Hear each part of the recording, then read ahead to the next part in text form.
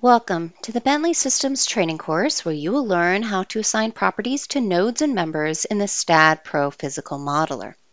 In this particular video, we are going to be working on assigning supports to some of the nodes at the base of our structure.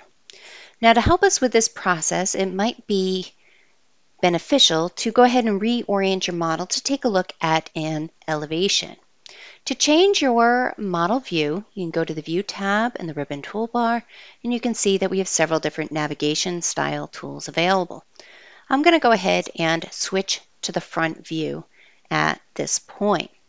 Now, all properties are assigned in the STAAD Pro Physical Modeler based on a select and apply method, meaning that you would select what you want to assign something to and then go ahead and apply it. So for this first exercise, I'm going to go ahead and start assigning some supports to my base nodes. So I'm going to unselect everything in my screen, and then I'm going to go ahead and select the nodes that are at the base of my concrete columns. Now what you're going to notice is that whenever you make a selection in the STAAD Pro Physical Modeler, that the additional tool tabs will become available depending upon what you selected. Currently right now I have at least one node and at least one member selected, so I can see that the Node and Members tab have appeared. Now I'm working on nodes at this point, so I'm going to go ahead and select the Node tab, and then I'll find the different types of supports that we have available. The first icon is for a fixed support. A fixed support is a support that is restrained in all six degrees of freedom. That would be your three translational and three rotational degrees of freedom. I'm going to go ahead and assign a fixed support to these particular nodes. Now, if you'd like to see that support being reflected in the spreadsheet, you can go to the Spreadsheet tab in the ribbon toolbar, and within the Nodes tool, you can see the option to show your supports. Here you can see that the three selected nodes have their supports changed to fixed.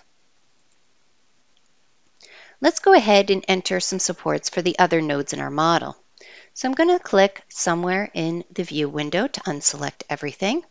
And I'm going to draw a fence around the base nodes at the base of my steel columns. Again, I'm going to go up to my ribbon toolbar and select the Node tab. This time, I'm going to go ahead and use the Pinned Support option. A pinned support is restrained in the three translational degrees of freedom, but it's free in the three rotational degrees of freedom. So here I'll go ahead and select the pinned option. And here we can see those changes are reflected directly in the spreadsheet. Now, in addition to those two support types, we also have a custom support option. A custom support can be specified as a restraint or a spring. A custom restraint allows you to manually specify which degrees of freedom are pinned or fixed. A custom spring allows you to define the axial behavior and spring constants for each of the six degrees of freedom.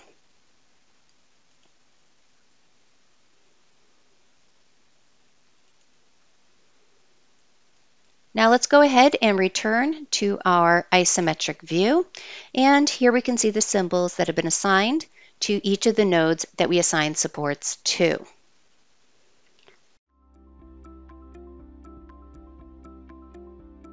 If you found this video helpful, please give it a like. If you want to see more such series, consider subscribing to our channel. Thank you and see you next time.